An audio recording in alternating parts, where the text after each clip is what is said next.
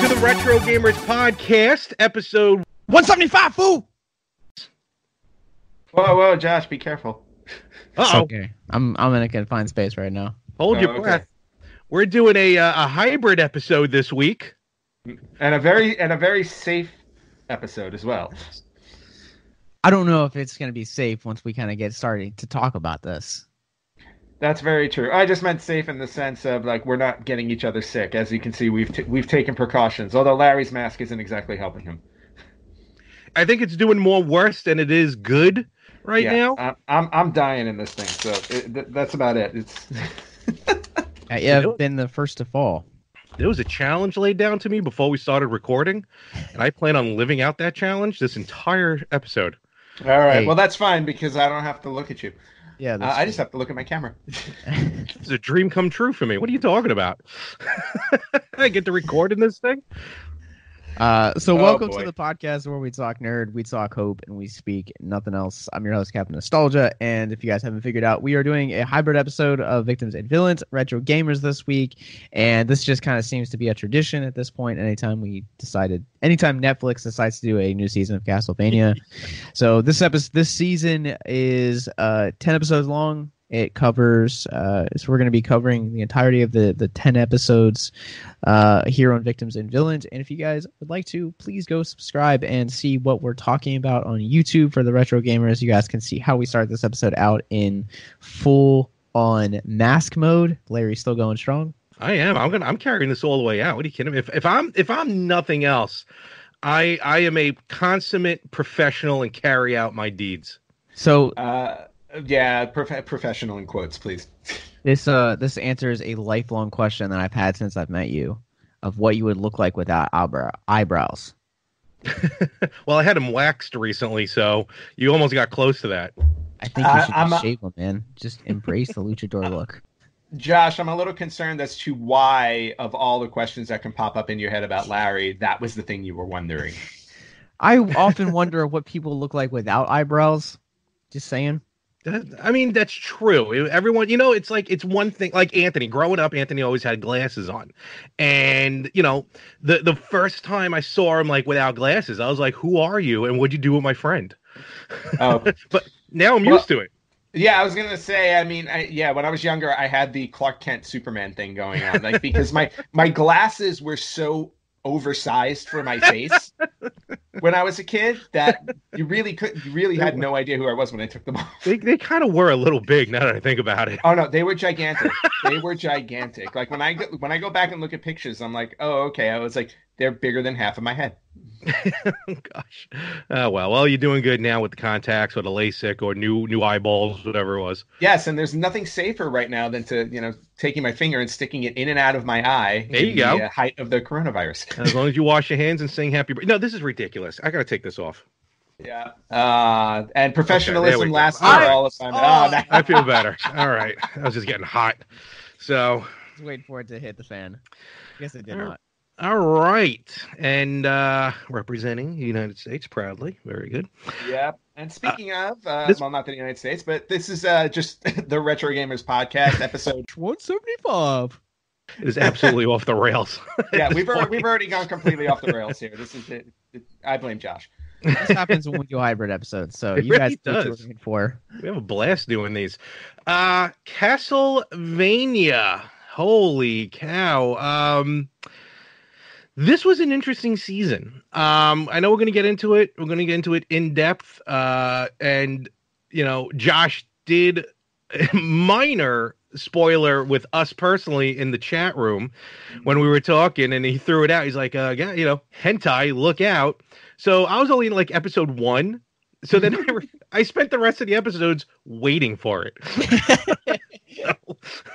Did like did like the tension mount within you? It Were you just really- like really I'm like, because I'm trying to figure out, all right, where is this going to fit? First of all, in the Mhm. storyline, um, and then, and then, I mean, they just went from zero to sixty at that point. We'll get to it, uh, but um, you know, before that part, you know, Josh, definitely, you know, let us know a little bit about the episodes. I, you know, I, I, I enjoyed it, but I do have some uh, opinions about it. Same. I, I think that this is a this is a stronger season than season two, but not as strong as season one. And there, it gets to a point where it walks in season one's strength, but it never reaches it. But it's a definite improvement. But I do think that there are moments like the the hentai scene where it's just like unwarranted and unneeded because Mhm. when you have when you've a when you've been waiting for as long as you we have been forced the the time period between season two and season three, you're only going to have a short period of time to tell this to tell these stories. And I liked how they balanced certain things to continue world building and setting for future seasons. But then you also at the same time have to say, okay, well, we have to really take advantage of these characters. And while one of the one of the two hentais that is involved in this season actually amounted to something, the other one was kind of like, why did I need this character in the season to even begin with? Because he adds nothing to the larger narrative. Like there's there's no cohesive nature. He just kind of seems to exist just to say, hey, remember this guy? Uh, interesting. And I guess I am going to argue uh, of the three of us that this was the strongest season yet, and Oh. I enjoyed it thoroughly. I'm not saying that. oh, excuse me. Oh, Whoa. It's COVID. Um, I'm not saying that. I'm sorry. My my humor. I apologize. Um, yeah, remember mask. this is a this is a hybrid. I know, episode. I know, I know. I'm sorry. I'm sorry. I don't even, even do those jokes on our own podcast. That's um, very true. Um, but um, I enjoyed the sh- the season, and I think Josh, to your credit, or to your point, I should say, I don't think you're saying that you hated the season. You still enjoyed the season. Just it probably wasn't the best of the three. I find it interesting. You find the first season, which was four episodes, the Mhm. strongest. Uh, I may want to come back and revisit that part. Um, but yeah, the hentai, uh, which for those of you who may not know, and I'll do this delicately, hentai is just a like adult anime. So, oh, speaking of which, speaking of adult anime, look who just showed up. anime. So there you go. Um, so you know, going into even from season one of Castlevania, we knew this was gonna be, uh, you know, this wasn't a kids cartoon. I mean, the Mhm. blood, the violence, which is fine. I don't. It doesn't bother me. Um, you know, it's all warranted. But you know, if you want to talk about it now, yeah, those two scenes. One I felt was needed, and yeah, the other one I felt was out of place. That's and that's that's the biggest problem that I had with that, and the character that's involved with it very much feels out of place throughout the entirety of this season. Like almost all the characters involved in that season or that scene become just very much out of place, and the fact that they have it littered and spliced together throughout the entire episode like it's not just a one and done scene but it they are scenes that they are continually you have the main storyline you have one hentai and then you have another and they're littered together throughout the course of it and it's supposed to be this cohesive narrative and i'm like why do i like why do i need to keep coming back to this because every time they would show it it would just take me out of what was the happening with the main plot with uh Sypha and Belmont. real quick, I just want to just mention, I, I and I know we're dancing around it. You know, we're going to talk about it in a moment, but I feel like Josh, the one scene you thought was out of place, I feel the other scene was the one out of place. Um, before and, and I know Okay, we're, we're being let- very vague. Yeah, let's let's hold, kind of hold on, hold on one second. Since since we're talking about the actual scenes, I think, uh, and I I think we're jumping a little bit too far since we're going all the way to episode nine. But just just just to point it out really quickly for people who are listening or watching, it's in episode. We're talking episode nine, and we're talking about one of the scenes is Alucard with Taka and Sumi, Mhm. and the other scene is with Lenore and Hector. Is that Yes, correct? This is what correct. we're talking about. Okay, so so there was uh, a one on one and then a triple threat. Right, exactly. Yeah. So those are the two scenes we're talking about, and one of you is arguing apparently that the Alucard one was out of place. The other one's arguing that the Lenore one was out of place. I think. Hold on, Josh. So let's Yes. So let's do this. So uh, here on Victims and Villains, we're going to take a quick commercial break. You guys, but if you or someone you know is struggling with suicide, addiction, self harm, or depression, you guys can reach out to us on any of our social media. You can call the Suicide Lifeline at 1 800 273 8255. You can text help to 741 741 or go to victimsandvillains.net forward slash hope. You guys can get even more resources past the ones that I've just mentioned. And I'm sure that anyone who is currently listening to this on the Retro Gamers feed, you guys can also get all of those resources wherever you guys are currently listening to this, as well as if you guys are listening to this on the Victims and Villains feed, you guys can wherever you guys are currently listening to this. All those links are going to be in the show notes uh, for this episode please, suicide is currently the 10th leading cause of death in the United States. There are 130 plus suicides that take place each and every day. And when you scale back internationally, there are 800,000 successful suicides. That is one death roughly every 40 seconds. So please, if you or someone you know is struggling, you guys can reach out to us on any of our social media. Once again, uh, the reason we create this content, as much as we love talking about video games and anime, is so that you guys can know that you have value and worth. This is the real reason. This is the heartbeat and the bedrock of the, our everyday content. Please stay with us. We'll be right back. All right, welcome back to Victims and Villains and the Retro Gamers Luchador Podcast. Oh Uh, yeah. I, I didn't agree to that title. hey, you know what would make this even better? The Luchador singing podcast. No, no, no, no. That makes nothing better. And No, no, this no. is now your official spoiler warning. yes, that is true. I kind of forgot about the spoiler alert. And Anthony's gone. All righty. Oh, Josh, this is something I've been trying to do for two and a half years. Good lord. Wow. Finally got the episode to myself. Oh, there he is. Never mind. He's almost back. He's coming back into frame. There he is. But does he bring cats with him? It's very the easy to get rid of me. Just start singing. so Castlevania, people. just wait. Just wait another couple of weeks, and I ordered something that's going to make you bat crazy. Oh yeah. So, So- uh, Ca- Castlevania. Yes, go go for it. Let's go back to Castlevania because also a little later in this episode we are going to talk about the games um, because I got some stuff to talk about with Castlevania. But again, we're talking about the Netflix episode uh, shows and um, and yeah. So where we left off is the we're just going right into episode nine. Well, let's Uh, jump let's into the uh, like where we find these characters in Yeah, the let's beginning. let, let's let's rewind. We'll get to the we'll get to the controversy of episode nine later and later on. Um, but yeah, uh, Josh, let give us a recap. Where do we find our characters? So Alucard is kind of he's now in a defunct mansion of his He's in a father. defunct defunct. Yes.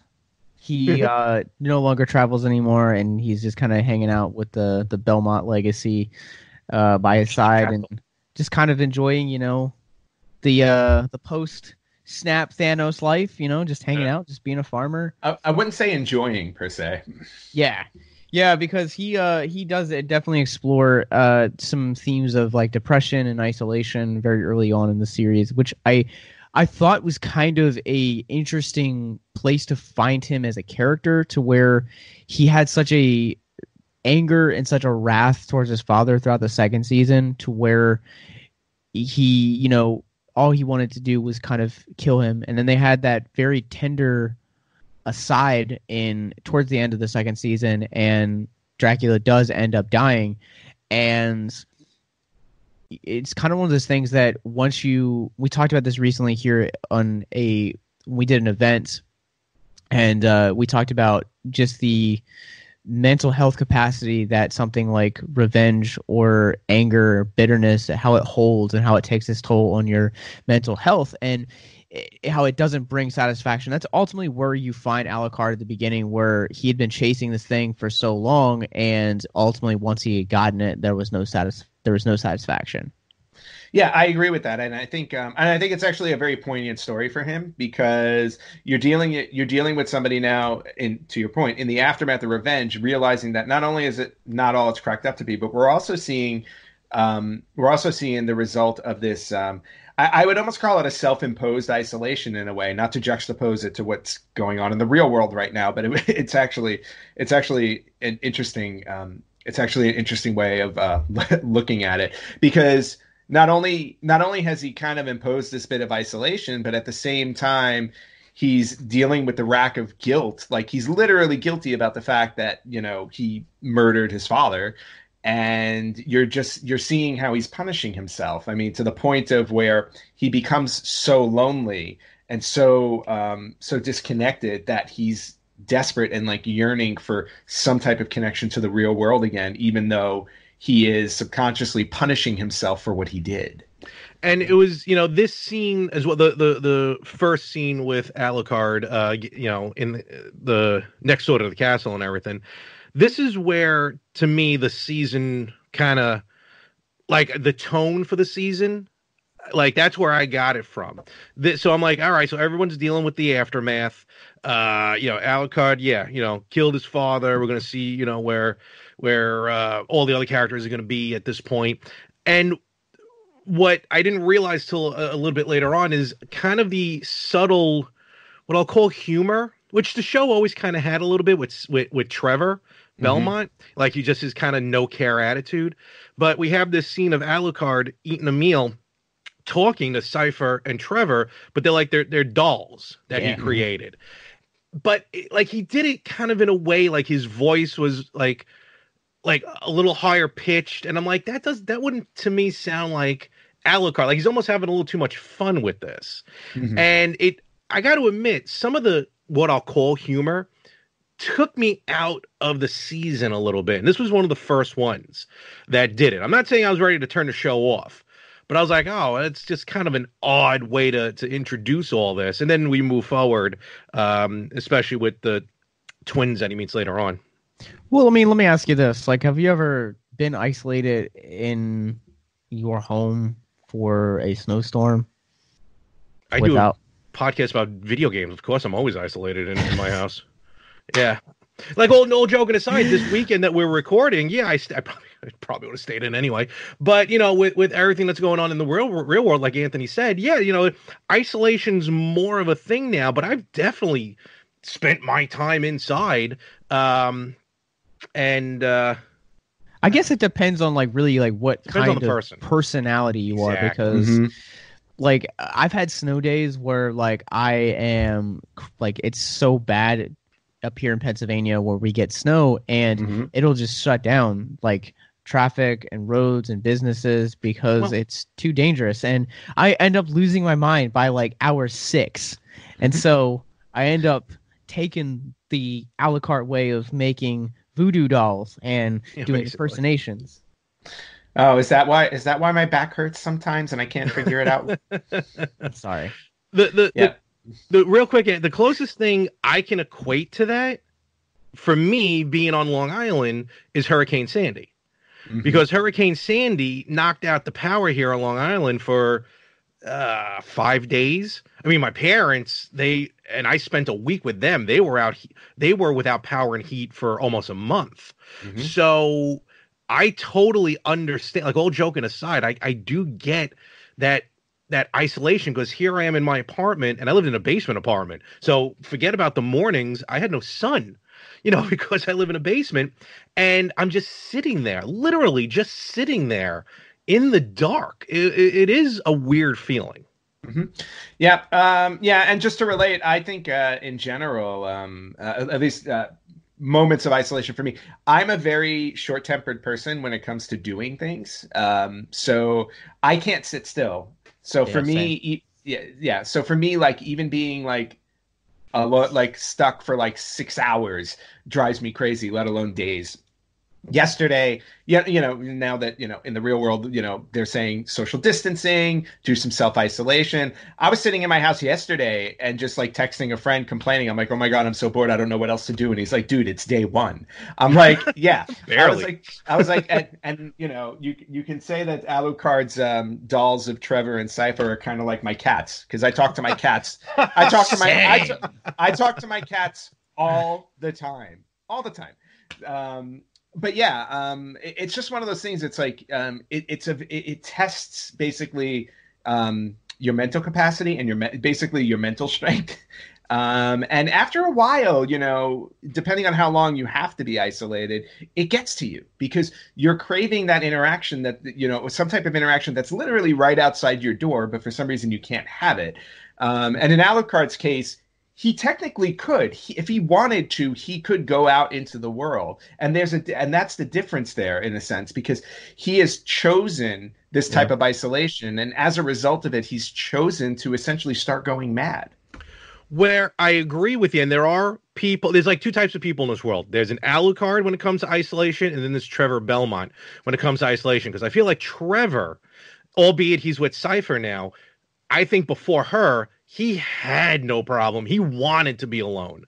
Like he I think he preferred that. And I feel like I'm a Trevor. he had he had different like he had a legacy about his name. And yeah, that he wasn't crazy about well, he, he was he was yeah. fine living up to it, but yeah, you know, it took a toll on him mentally. Where I feel he could he could have like going into season one, like if you can think of the backstory, backstory, which is the video game. Um, you know, I think Trevor probably wants to be on his own. Mm-hmm. Well, I think that what that's when we first initially meet him, and I think that the reason why we initially met him that way is to your point. It's like it, it's the weight it's the weight of the legacy that's on him, and even mm-hmm. though he's up for the task, it doesn't mean that he necessarily enjoys the fact that he's doing this. I think he's good at it, and he knows he's good at it, and all of that, but it just takes a toll on you, and you get to that point where it's like, you know what, I've seen enough horrors in the world and I've inflicted enough horror in the world that I I'm kind of perfectly fine just being removed from it. Okay, I agree with you on that. Yeah, whereas yeah. Larry, you you don't you don't want to be removed from the world. You you just do it often. I do, I do, and I don't have a problem with it. I'm not saying I'm just. I'm. It's no, no, not like a, saying, yeah, you yeah. know, it's not like come knock my door down. I'm just like, right. I just that's how I am. But then you also see now when you're looking at season three, now we're well beyond the whole idea of Trevor being alone. Um, you see what Sypha has brought out in him, obviously, not only as a companion, but uh, as a, a, you know, pretty much. I, I don't want to say it's interesting because I don't want to say, even though they're kind of shacking up together, I don't want to say that they're. Uh, I don't want to say that they're a couple. You know what I mean? It, it's it's almost like they're companions with benefits. That's how I see them. I don't see them as like mm. a couple couple. I don't know if the, if the, if did I you get a sense? Did you get a sense that they were like together or just Josh, you what's know? your thoughts? I felt like they were like dating. Yeah, you could definitely feel that they were dating because there are several scenes littered throughout the throughout the episodes where they'll wake up in bed next to each other or they're cuddling or there seems to be a closer bond and a closer intimacy within them and that to me was one of the strongest points of this season in all honesty because I felt like I felt like tra- I, I stood back and as I was thinking about each character's arc throughout the course, obviously we've spent the most time with Trevor Belmont and to kind of see where we where we find him at the end of the pilot to where we get him throughout the end of this third season and its duration, he feels like a well-rounded character. Like you could see uh, recently um, we did an event and we were talking about uh, the importance of community and how we're biologically created to be around other people. Like there's something within us that we just need to have uh, around other people. And one of the things that uh, makes that so is the fact that, you know, we are. the fact that we are we need community uh, for the sake of our, our own mental health.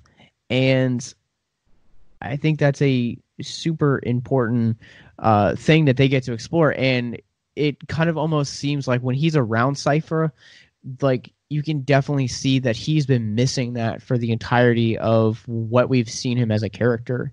And so it felt more rounded to his character. It added new dynamics, and the two of them just had really great chemistry. And it was something that I didn't, I did not know that I needed until I actually stepped into the season. I loved and adored the the relationships throughout the season with between the two of them. Yeah, yeah no, I, they definitely, yeah, they definitely, they brought they brought a light pun intended, I guess. They brought a light to the season that was majority full of this darkness and which it's supposed it's Castlevania. Um and the and it's a you're right, it's a complete, if I may steal a title from another podcast, a yin and yang uh between um Alucard, who's just so you know uh, dark as far as his isolation versus Trevor and Sypha, who are in this town now, um, almost trying to live with the townspeople, live like townspeople. which is uh i didn't No. sorry No, no I Um, was gonna, I was gonna say I thought I thought that made you make a really good point, and it also shows you how much Trevor has changed since we first met him, um, and how they do they, like you can you you sense not only the uh, not necessarily the light between them, but the, like you know the uh, just uh, the strength between the two of them, and Yeah. how now they complement each other. Um, but just them coming into town and the just the overall heroicism between the two of them, and how they now share it with each other. Mm-hmm, mm-hmm. it's funny that you talk about the the the themes being a little bit darker in this season but the there are certain sequences as you get later on into it and a lot of the i'm not sure if you've seen any of the marketing for like the one shot posters of this but it's definitely a brighter color palette uh than previous Mhm. seasons uh i love and absolutely adore the banner that they released it, it kind of almost has like this floral feel to it that i just think is like when I saw it, I hadn't seen any trailers for Castlevania. I was like, I'm sold on this. And I, I think that once you kind of get deeper into it and you kind of introduce the, oh man, what was the what was the thing underneath the, of it called the Eternal what? Oh, the Eternal Corridor. Yeah, the Eternal Corridor. Once you kind of introduce that into it, it, it kind of really The uh, opens up infinite, the Infinite. infinite, that's corridor. what infinite Yeah. corridor. Sorry. You- Which you is really- actually a real thing. You uh, you really start to open up the the the doors uh to like Pun more intended. of a yeah more of a of a color palette that I I really think complemented the the darker nature of the season really well. Yeah, and I think, um, well, I mean, let's just, I guess, let's just stick to the Trevor story since uh, we, we we essentially had four, um, we had four basic uh, storylines here out of all of this, and sticking with the Trevor one, the whole, uh, yeah, they were the ones that really brought anything kind of light into it with the whole magics and the Infinite Corridor, and then we also got, you know, we got to meet a new character, Count Saint Germain.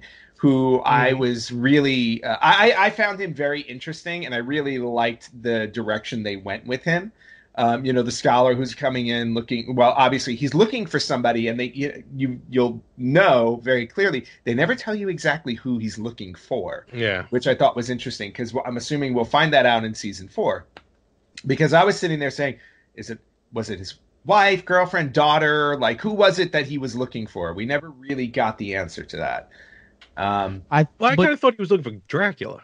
no, he was looking for if I remember correctly. I no think somebody else looking for his wife because his wife had gotten stuck in the Infinite Corridor. Oh yes, yes, yes. Because Yeah. okay, I got you. By the way, the Infinite Corridor actually exists at MIT.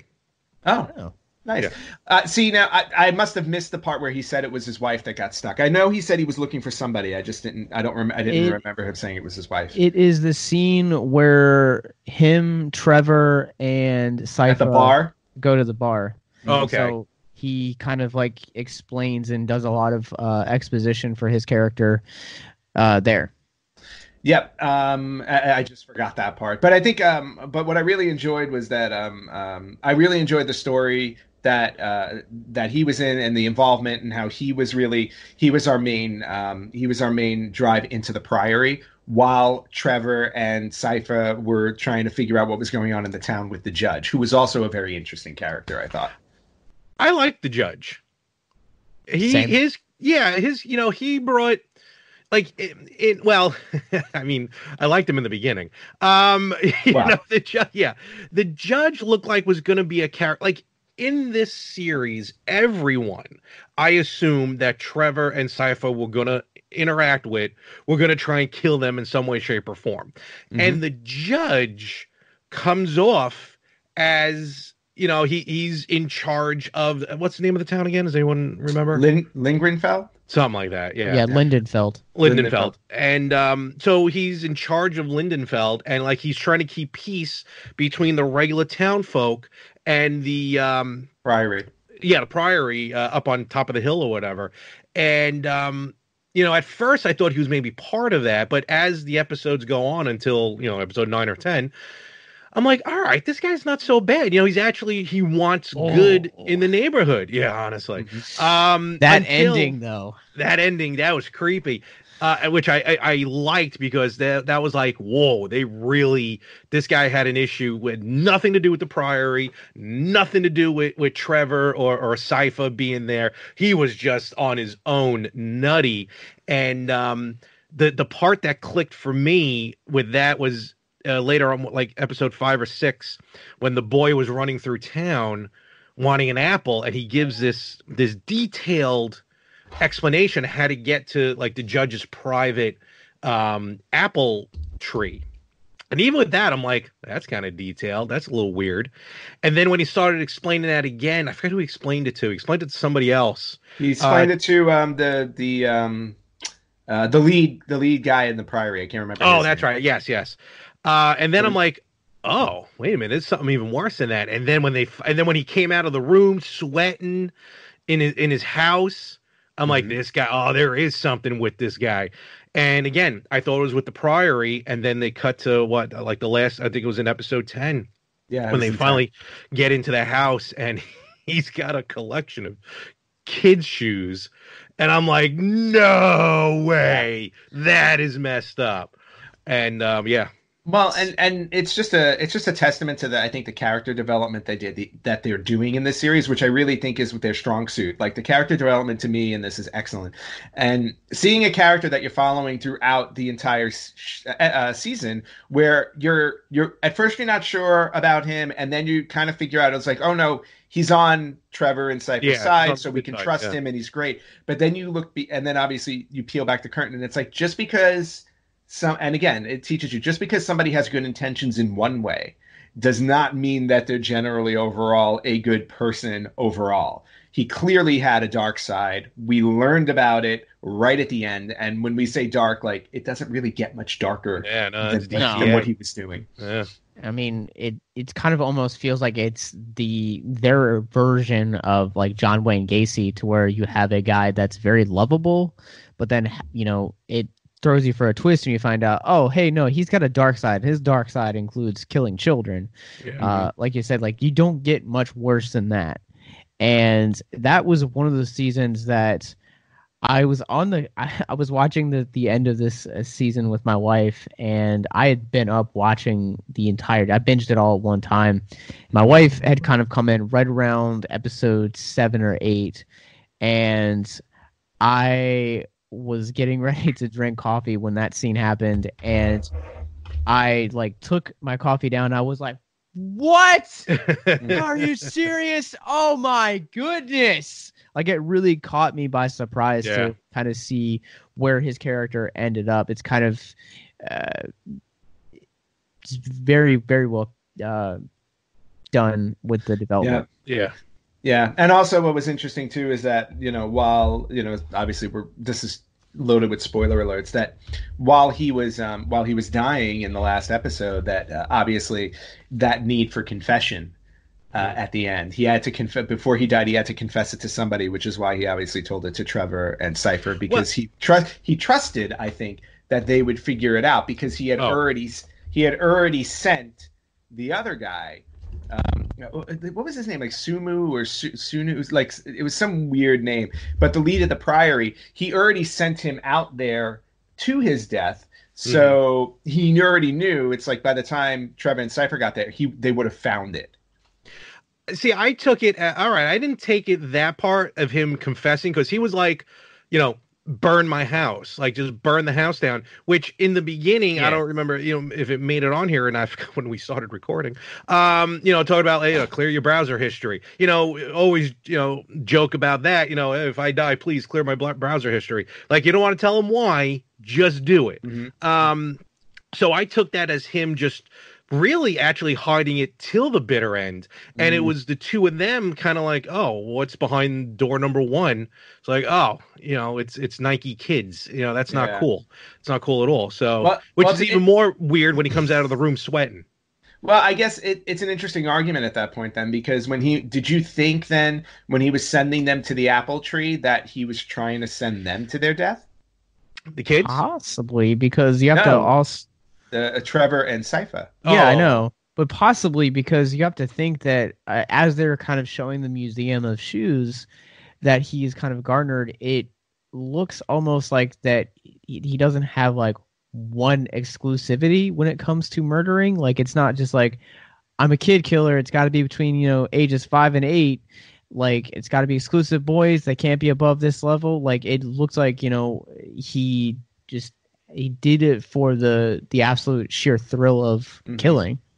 Didn't he send them to the or- to the apple tree first? Because Sypha was like, "Look, there's bones. Why do they look small?" Yes. And then they made it to the house. Yeah. So well, yeah, I think I, I you're don't right. I think- think he was trying to kill him. Yeah, well, well, he didn't. He didn't instruct them either way which one to do first. So I mean, the argument could be like if he was trying to send them to their death and they went there first, his house wouldn't have been burnt down. Mhm. If they if, if they went to the house first, um, and found everything, you know what I mean? It's like Yeah. it- it's a weird it's a weird mix. That's why I kind of went along the ways of they would have been able to piece it together, which is why I felt like it was partly a confession, and maybe it was to burn my house down, not necessarily to hide it, but just like for the shame that he felt for what he did. I think he was. I think he realized. This is my interpretation. I think he realized they were gonna figure it out. Okay. But if you're eh, if you have a problem with it and when you're alive, I feel like it's a cop out to have shame in death. Like if you just live your life free of regret, to quote Watchmen, then Yeah. when you die, it's a it's a it's a good peaceful earned death. Well, I think when you. Go Well, I was gonna say, I think when you talk about something, uh, something uh, uh, eh, sinister in this nature and everything like that, I think for the for the most part, and again, I don't, I don't know because I've never done anything that sinister um, yet. Uh, but I think that, uh, well, that's sinister right there. Um, Marge Simpson is the worst yes, m- yes, she is. Uh, but I think that when um, uh, I think that when you're, let's say, you know, when you're dying, a lot of people say this, like you know, when you when you're at the end of your life, a lot of people say, you know, you have a lot of regrets. Like I regret that I did this and stuff. You want to live, to your point, a life without regret. Mm-hmm. This to me was probably his greatest regret, even though he felt a need to do this in life. Now at the end of his life, he's realizing the mistake that he had made in this and the regret that he had for it, which would have prompted some type of confession. Now, also, you know, with the the religious aspect of the show, which really haven't touched on too much yet, um, with him, you know, it's also, you know, when you're on your dying bed and you're taking your dying breath, you know, you can basically almost, you know, absolve yourself of all your sins, you know, at the very last moment, so you, you can head up uh to God. And if you want to look at it that way, he's probably that's his way of repenting for all that, clearing his conscience, you know, Before he goes to clearing all of his sins, and then he goes no for real because in this situation. You know, they've he may have seen hell with the priory. You know, they witnessed the Mhm. the demons coming down, which leads to the priory Yep. and the abundance of what I felt was completely unnecessary fecal jokes. Um, you know, for both the priory and in because we haven't even touched on Hector uh in the dungeon and everything yet. Oh, we're the, getting the there. We're vampires. getting no, there. I know, but I'm just saying. I think with him, and then we can move on with that. I think it's just him. Yeah, kind of his last breath. Like, all right, let me clear my conscience. And uh because technically speaking, if you want to bring the religious aspect into it, technically there's nobody in hell. Um, you know, that's that's what that's what they say. So uh he's probably yeah, just wanted Yeah. to make sure he doesn't end up there. Right, but in the but in the world in the world of in the world of Castlevania that we're watching, Yeah. we know we know for a fact that there are people. Oh yeah, yeah. There's Yeah. demons Yeah, and so- everything. Yeah. Right. So in this world, and, and this could have been this could have been his way of trying to not go there because Mm-hmm. maybe he think he he thinks he did something altruistic by trying to save the town, which by the way he utterly failed to. Yeah. Um, but uh, but you know what I mean. It was just again, it's just that last confession. It's like I'm dying. It's like I, I have to say this or Yeah. whatever it may be. Um, So, with Hell, uh, to Anthony's point, there is a very amazing and cryptic scene that I think all of us kind of knew we were holding our breath for throughout the course of the season. I think with the way that season two ended, we kind of knew see what we had an idea of what season three was going to be. and that of course was the resurrection of Dracula and they teased it in Mhm. in once they get into hell I think it's like the seventh or eighth episode they give you a little glimpse into hell and you see Mhm. Dracula And his wife. and and his and his wife wife, yeah. and I was so grumpy that they did not do anything with that. Yeah. I was like, I was very happy they didn't do anything with well it. Be- played. I am too, but I'm also at the same time I'm like, all right, all right, you have my attention for season 4. Well Yep. played. and that's exactly what it was because I felt like if they went if they went right back to it, that was what everybody expected. Like by the end of this season, Dracula's going to be back, and then he'll be season four. I love the fact that they didn't do it, but at the same time, because uh, Count Saint Germain wound up in the Infinite Corridor, I I think that was enough of a tease of something's going to play out in the Infinite Corridor that's going to obvious with Count Saint Germain that's going to lead to Dracula coming back. I was waiting for Dracula. I'm like, bring me Dracula. You know, it's Trevor Belmont. He's got to fight somebody. Fight Dracula. But did you? But did after watching the whole season, did you need it? No. Yes, And I, I, did. didn't. I Did didn't. I, and I didn't. Oh. I Oh. didn't either. But Yeah, here's the two of you nuts with movies. here's here's what I here's what I expected coming into the third season. Dracula is going to be dead maybe towards the end of the season. They are going to set him up to be season four big bad. They're going to do something that's going to resurrect him. But I was expecting a a like a World War face off, very similar to like DC's Flashpoint between um uh Carmilla and Isaac. Like that was kind of the two that I was expecting to really go. And Yep. they they diverted my attention, but they gave me enough of those characters that not only did they world build for future seasons, Yeah. but honestly, Isaac probably was one of my favorite characters throughout the course of the season. Just the journey that he got to go on, and they really fleshed his character out. Whereas I felt like in season two, he just kind of he just kind of seemed to exist against noise. But here, Yeah. you definitely got to uh, really utilize him and make him a stronger character f- moving forward into seasons four and onward. One of my favorite scenes, besides the hentai, one of my favorite scenes in the show was Isaac in that town when all the the people were possessed, if you will, and then they just formed this giant ball of people. And the visual I thought was just phenomenal.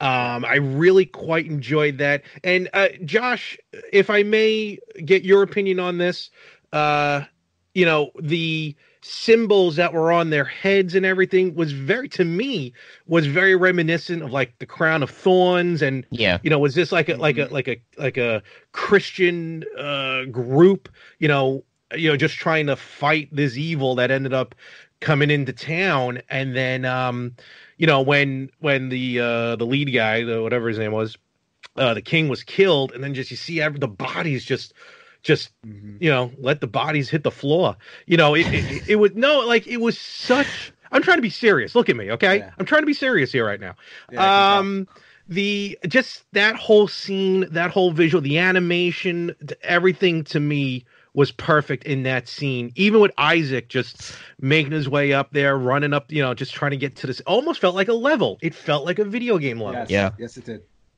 Uh, yeah, to your point, I think that it is Christian symbology. Uh, I don't know really too much of uh, what it could be interpreted to to either say or mean, but to me, I think that if you're going to have a world where you have a, let's say a like satanic or atheistic approach to magic, I think you need that just as well for like a god version because you know where there's a devil there has to be a god. Where there's bad there has to be good. Uh, where there's a villain there has to be a hero kind of mentality. And to that point i think that that's kind of what we started to see um, throughout the the course of that particular scene And, Ra- and if you don't mind, I just want to ask Josh one more quick question because I want to get. When I was watching this, I thought of Josh. All joking aside, you know, with your faith that that you you express every week, every time on your show, how did you feel, if I may ask, and if you want to answer the question, that's okay. The scenes in the church, you know, like with the upside down crucifix and, you know, how a lot of that was being played out. Like, did you feel like, like, did you feel like, um, you know, this, this show is getting a little weird now? So you, I mean, it's not, it's no weirder than in earlier seasons where churches are literally being burned down. Okay. Right. So, for one, one of the things that fascinates me personally is psychology and personally how people believe what they believe or how why people are caught up in the religion or worship the gods that they do i, I i'm fascinated by cults and that to me just kind of seemed like very much like a cult Okay. uh the way that they approach that and uh Sala who is the the the main guy he he just kind of seemed uh, very very atypical of what you would expect from a like a cult leader Mm-hmm. to where he is kind of an extremist uh so to me obviously a lot of what you'll find in cults are people will take a passage from the bible and they will basically twist it to their own needs and they will that is the foundation for which they will build off their religion or their cult at that point. And there have been several cults all around the world that have taken portions of scripture that they have read to interpret oh this must mean this and that's how they started to have the occult and that's what you definitely start to see with Sala is he's taking this um gift from God, as he calls it, and he's crucifying it uh, down in the the basement. Mhm, and mhm. clearly, it's a monster, demon, whatever you want to call it, Night creature. night creatures. Yeah. yeah, um, that has fallen from the sky, and you know he's kind of done his his bidding. He feels very much like an occult leader. So I'm at a point where like I'm able to like uh, having done a lot of research into the occult mindset and mentality, it's really easy for me to decipher, decipher um, Yeah. Christianity and and the offshoot, the many offshoots in the occultic lifestyle. Okay. Yeah. Plus, you're also dealing with a you're also dealing with a topic that doesn't generally it doesn't generally get covered in um, in um, entertainment and television and film as much, but the, just the darker side of religious history. Yeah. Um, you know, many thing many things in the history of our Oh, world yeah. have been done in the name of religion. Many heinous, heinous things. So you know, and, and Castlevania is a series that's rife with that, and um, and and obviously it's a, it's a key element of the of the whole story.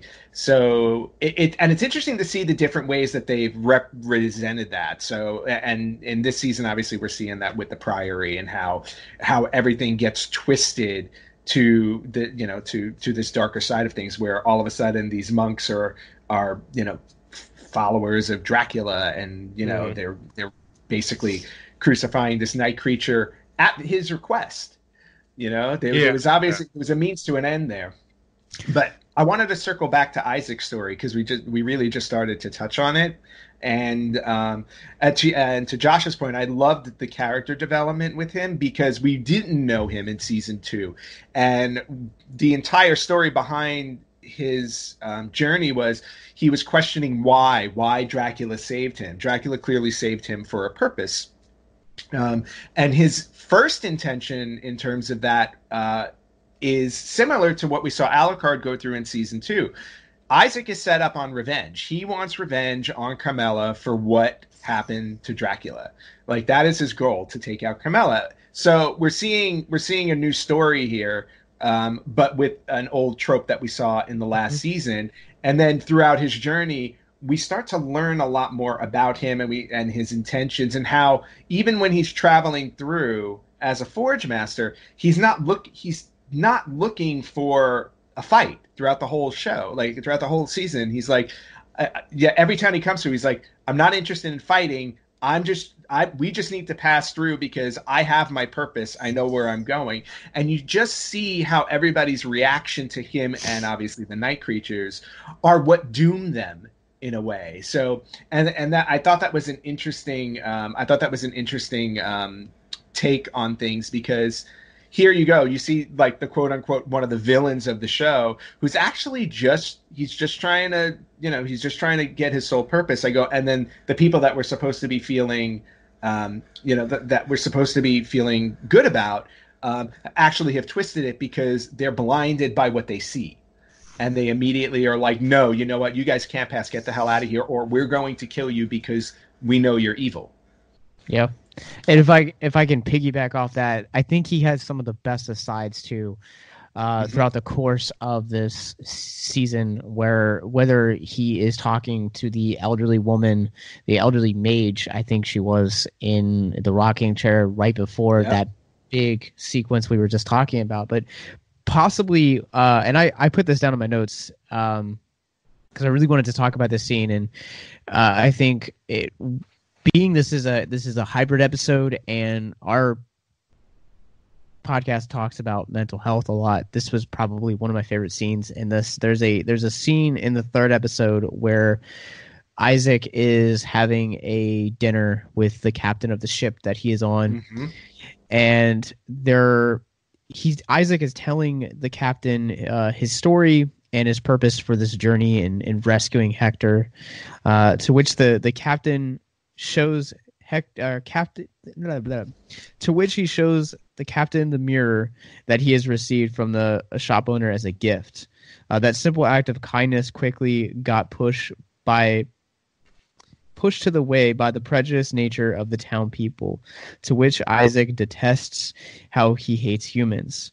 The captain responds, "If you kill e- uh, human evilness, surely you wipe out the human kindness in the same regard." Mm-hmm. And uh, that again kind of just goes back to the uh, to the mental health aspect of, you know, really understanding where even if you're meeting someone at like evil, there's also a capacity for someone to be kind. And we all have the capacity to be greatly evil. I mean, our history, like you said, and is is littered with some darkly dark religious crusades and but we it's filled with serial killers and rapists and child murderers all in the same but it's also then you have people like mr rogers and uh you know Mother teresa teresa people that are going over and and saving Me. their lives i mean i wouldn't oh. put you in that category no wow. that's not well, wow, we, rude yeah i think we just jumped the shark rude um but you're right But it, it begs the question: Do we focus so much on the negative that we fail to see the positive, no matter how small mm-hmm. it is? I think and, that always happens. Yes. Uh, every, I mean, now, uh, you know, everyone's all focused on negative, but you know, there is positive in what's going on in the world today. Um, and, but that goes with everything. Um, but yeah, you know, it, it is. You have to have it's that whole yin yang, dark light, good bad um, one cannot survive without the other. That's really what it boils down to. Yeah, and I think and I think what's what, what's also a way to look at it is that we're the should the world ever succumb to one side or the other, eventually the other side will return because to your point, you can't have one without the other. So no matter how dark things get, there will always be the light side of it. Mm-hmm. Um, mm-hmm. Even if you think it's gone, it's still there. It's just biding its time to surge back up again.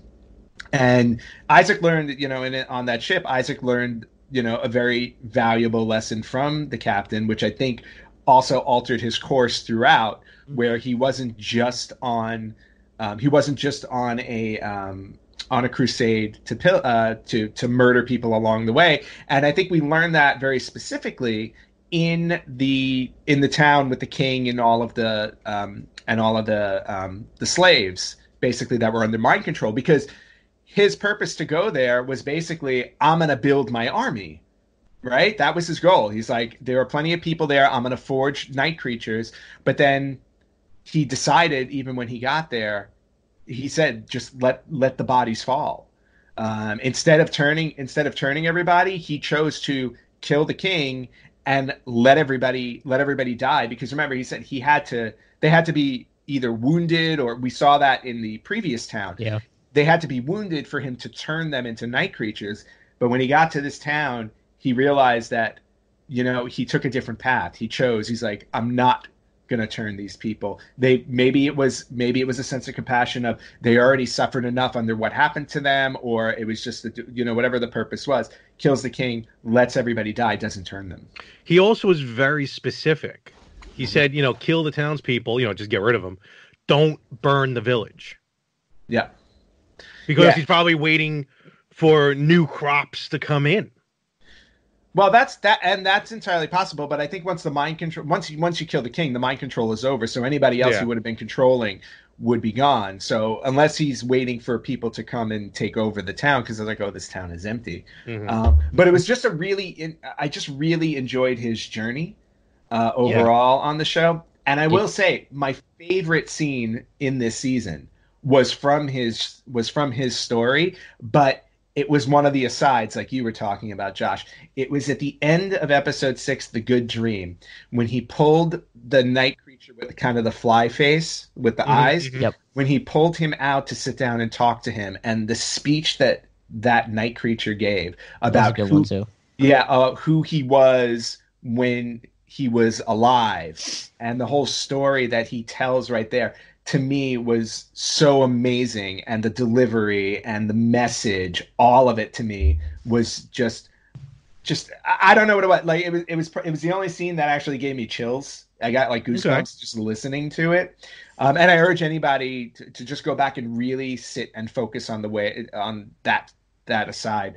Um, uh, it just yeah to me like that story had so much meaning behind it in terms of the views of not only this world but the way that you can view uh, people in our world and why they do the bad things that they do um, so i urge Yes. you to go back and check that out Yeah, I really appreciate that sequence as well. And, you know, like you're saying, like it really kind of brings clarity to why we might do some of the more heinous acts that we do as humanity.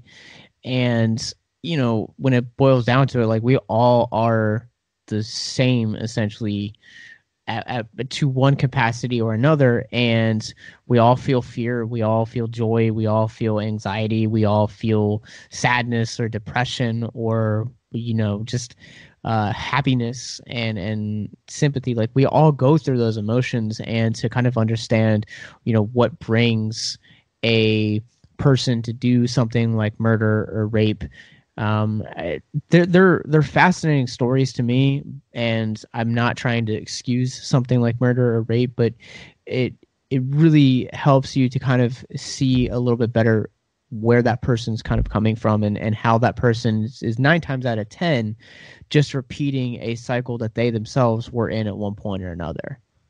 Yeah, and that is unfortunate that that's something that winds up happening, you know. Um, eh, but again, it's um, it, and I don't know if it's a more science, you know, it's probably more scientific in terms of the way that our brains work and the way that you know when things are ingrained in us at certain points in our lives, how they manage to stick in there. And even though we don't necessarily, we you know, it's the it's the thing of like I'll never ever do that because I've been through that. And then in a lot of cases, it's kind of like your brain is trained to even go in that direction, despite the fact that you don't want to. All right, and with that noise, we are back. We're going to take just a quick break here on the Retro Gamers um, from Castlevania to talk about a couple of things that uh, we have happened. We still have Josh with us here with the Retro Gamers. So this is an exclusive that we got with Josh. Yeah, it's very special. And, and man, I say it's probably one of the better exclusives we got with Josh because the other exclusives Josh has shared with us have been a little TMI. Yeah, thank yeah, thank the good Lord they were not, Hey, they were not recording. Larry that point. gave me credit on that one. So I did. I did. Listen, you give credit where credit is due. Sometimes you just have to uh, deal with the consequences. That's all. That's very true. Uh, uh, Brandon, you're up next. So basically, um, what I want to talk about first, real quick, and I I did a quick video on this um, because uh, which you can see on our Facebook page and on our YouTube page. Uh, I did this Indiegogo um, and of game cases, and basically what it is is this company game customgamecases.com uh, makes these custom game cases uh, for basically almost everything that's not a CD based system and not the Switch. Mhm. They make, and I'm just going to show it right here because Anthony's not going to be happy about this. Yeah, boo. The Indiegogo was for Virtual Boy cases, and I gotta say, and I mean, yes, this is Virtual Boy, but now to get your thoughts on this thing because yeah. These are high quality. No, no, no. They're beautiful cases. They're very well made. You can tell, you know, that with the hard plastic, the the the the cover. Now, I guess my question is, yeah, even the inside, like everything about that looks fantastic. The cover is a recreation. Is it an exact recreation of the original? Yeah. So what ha- I didn't realize this when you go on their website. Yes, you get the case and the label. Yeah. And the label is the same label of the game when it came out. Okay. Yes. Yeah. For that alone, for that attention to detail, yes, it's fantastic. Uh, do I regret the fact that you bought Virtual Boy ones? Absolutely. And so should you. But um, yeah, no, no, no. And I went on their website after I saw your video on Friday. Okay. uh, on their website, and um, I love the fact that they're you know they do um, they do um, Super Nintendo, I believe they do Sega Genesis, so they have a they have different systems that you can buy cases for. Um, so I'm definitely all in for that. So Uh, they- really really cool stuff. Also, too, have N64, which is really awesome. The way that Ooh, the. N64 cases look really awesome. Uh, they have. Uh, And to be honest with you, those are probably the ones I would buy because N64 games, when you put them on a shelf, you can't see what they are. Yes. Uh, also, too, the the Game Boy collections that they have are are fairly pretty sweet too. Um, looking at this one right now, like they they look, and I think one of the things that I like most about the the cases, they look and handle a lot like uh, Sega Genesis and Genesis. The way that Mhm. they have them, you open them up, they have their they're nice and thick. They have a nice spine to them. They have beautiful visuals, and you can also open This is them not up. from the website. and- this is from the original. Uh, see, hey, Yeah. is that Sub-Terrania? yeah. Yep. I own that game. There you go.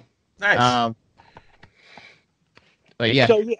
It, it's they're they're very nice cases.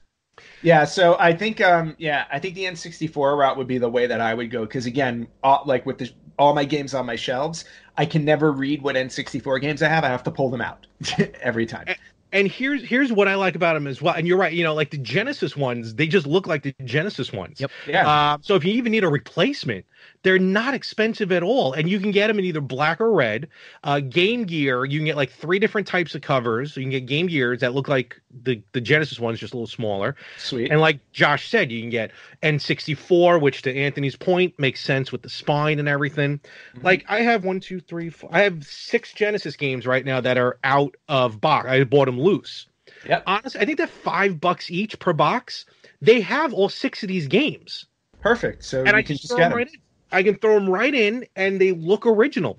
I did email them though, see maybe if they start making ones for the EA Genesis games Oh yeah, the that were a little yeah a little larger but um yeah check them out. Customgamecases.com definitely check them out because uh, if you're looking for cases they even sell blank cases if you just need a, a- a- another case made.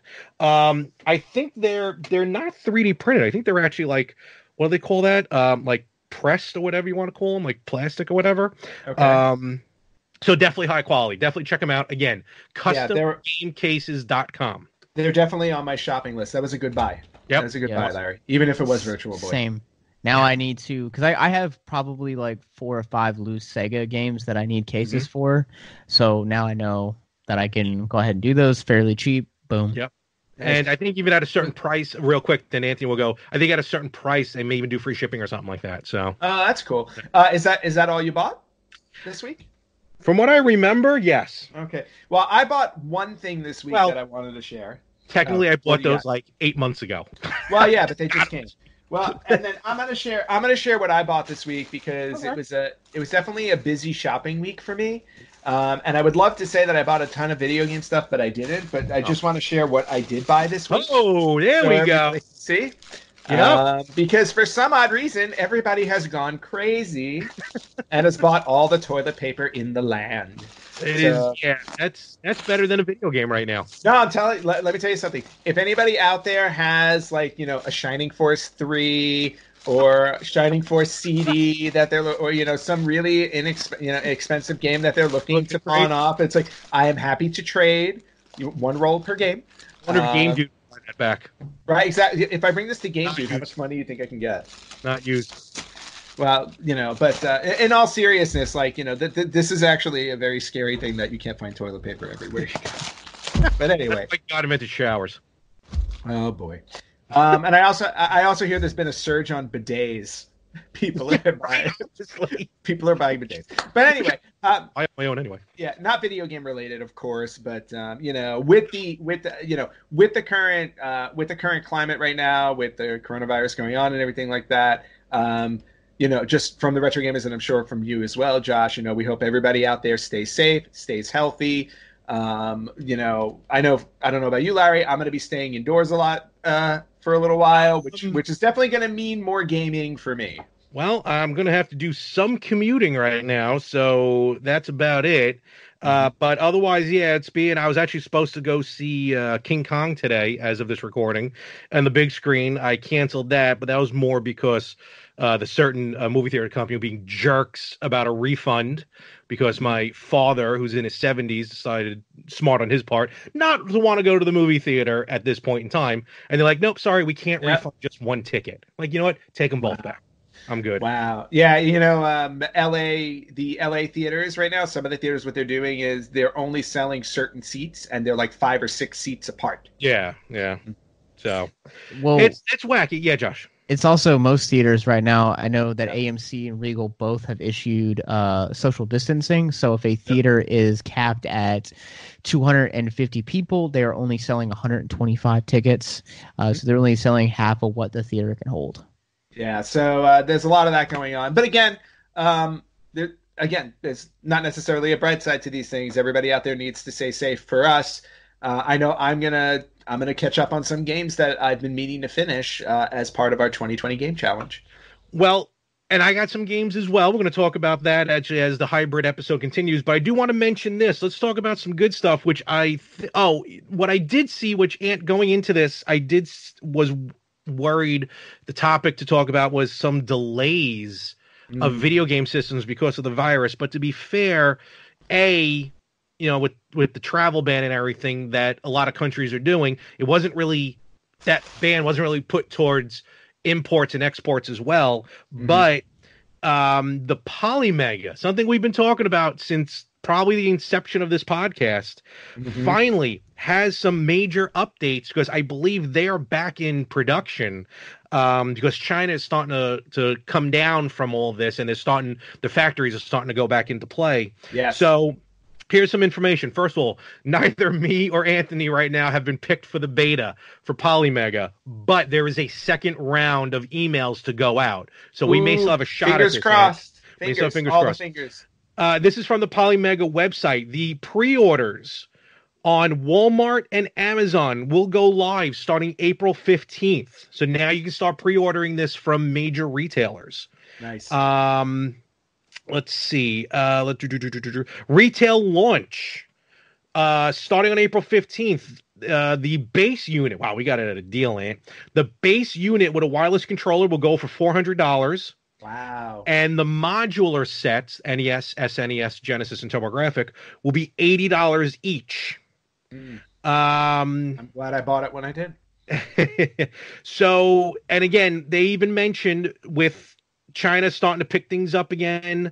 Um, as long as the situation remains stable for the next 30 to 60 days, they're looking to stage the beta releases March, April, and May.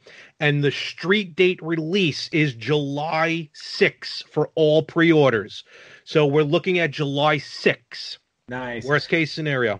What a great way to celebrate our Independence Day than picking is true. yourself up a Polymega. Yes, absolutely. So some good news coming out of this, um, or at least some some happier news I suppose. everyone talking about toilet paper and Right. and whatnot uh, being well, sold and out. of course, so we know that the uh, TurboGrafx Mini has been delayed because of everything going on. yes, it has, and I was looking forward to that too, man. I was Nope, so was I. But look, again, priorities. Thing, you Yeah. know, people. We got. We need wipe to make it sure, down when it comes in the house. No, we just need. we need to make sure everybody stays safe and healthy. Yeah. That's priority. Well, uh, so with that being said, uh, Josh, do you have anything to add to any of this? You picking up a Polymega? Uh, no, I'm Fair I'm enough. still looking at these cases. All right, So- so, Oh, those so we cases know, are awesome. no, we They are, we know yeah. Josh is going to go case shopping. Anthony is also going to go case shopping as well. I'll be honest with you. Let me ask you, because I know Ann has more games. Josh, what games do you have? Like, what cases are you looking for? Uh, I honestly, I know that I need a Sonic game. The the first Sonic I need, or either Mhm. Sonic or Sonic Two, I think it is. Uh, is what one I need. Um, I know I need a Sub-Terrania, uh, which is the game that you just had featured, um, not that long ago. And I know I have probably one or two more that I need, but they are currently all packed away because my wife and I are getting ready to move. Oh, yeah, that's right. That's Good luck with right. When when is the move officially? Uh, sometime next month. I don't know yet. Yeah. Wow. yeah. All right. Well, uh, we wish you the best with that. Happy packing. yes. Yeah, there you go. Shelling out the big bucks. Yeah, Yes. all my entertainment is like uh like like ninety percent of my books, ninety percent of my movies, all my systems, like it's all packed away right now. Yeah. Wow. All Welcome right, to cool. moving. Yeah, exactly. uh, I am not looking forward to it if I ever have to do it again. So. Yeah, right. And I am right now stuck up here, and I'm happy about it. No, you So- stay there. Yes. And uh, all right. So, Ant, did you pick up anything else? Do you have soap? Do you have water? Uh, well, I mean, I have water because you know what, the sink works just fine. I don't know why everybody was going crazy. Everybody thinks that the water's getting turned off. The water will be fine. Um, well, I, it is I- LA water. I picked up. Well, yeah, that's another story. Uh, yes, I, I picked up my usual case of water. I have provisions at home. I am pretty sure that I will be safe. If if I do start to run out of things, you know what? That that's why Grubhub and Postmates are still working. That's why restaurants are still open. Yep. So uh, this is probably again, and not you know, I know this is a retro gamers, but this is a perfect time to support your local businesses because they're going to need it. So if you you know if if you do still, uh, if you you you know you usually order from certain places, give them a little bit of extra love, you know, for the next few weeks if you can, because uh, you know a lot of places are going to be hurting. And with that, I think World of Warcraft is probably seeing a surge in, in online gameplay at this point. Yeah, This is what all prepared for. The, the the 16 hour a day players have now become 22 hour a day players. Yeah. This is where we're at. We've been training for this. Uh, all right, so we're actually for the retro gamers and uh, I guess victims and villains, but this is exclusive. Victim villains ain't hearing any of this. So for the retro gamers, we're actually going to come back with part two of our Castlevania series review on Netflix season three. So make sure to check that out next week. Um, and of course. Every Friday, you're going to hear classic episodes of the Retro Gamers. Um, the first 28 episodes will be are going up audio and YouTube, and then 29 through 99 will go up audio on YouTube, so you can check those out. And actually, since we're closing up this week, follow us up on Instagram, on Facebook, on YouTube at Retro Gamers Podcast. Hit us up on Twitter at the uh, excuse me at Retro Gamers Pod. We want to hear from you. And hit them with the website and the Uh, email. Yep, you can uh, check out our website at theretrogamers.com or you can email us at email at theretrogamers.com. And since we're wrapping up this week, uh, Josh, please promote your stuff.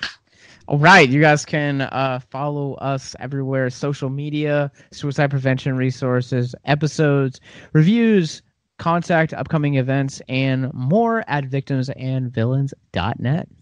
Awesome. And with that, we will catch you for part two right here next week on the Retro Gamers Podcast.